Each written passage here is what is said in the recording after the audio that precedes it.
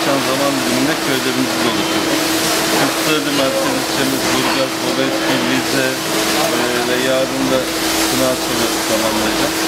Oradaki köylere gittiğimizde önce köylülerimizin, çiftçilerimizin, hayvancılık yapanlarımızın sorunlarını. Onları aldık ve onlarla ilgili çalışmalara devam ediyoruz zaten. Bugün de esnafımıza uğrayalım. Ve burası benim doğup büyüdüğüm, kendimi geliştirdiğim, ekmek paramı kazandığım en güzel yer. Sanatkarın kirli evleri medeniyetin aynasıdır diyor. Yani onun öyle bilmesi için. Oradaki arkadaşlarımızla oturuyoruz, konuşuyoruz. Onların dertlerini dinliyoruz. Esnaflarla ilgili ne gibi çözümler olacak? Çünkü gördüğümüz kadarıyla esnafın durumu gerçekten sıkıntılı. Yani ben şu an toplum katmanlarına baktığımda özellikle hem esnaf hem köylü gerçekten ciddi sıkıntılar içinde. Ve birçoğu bankada da borçlanmış durumda iş var para yok diyorlar.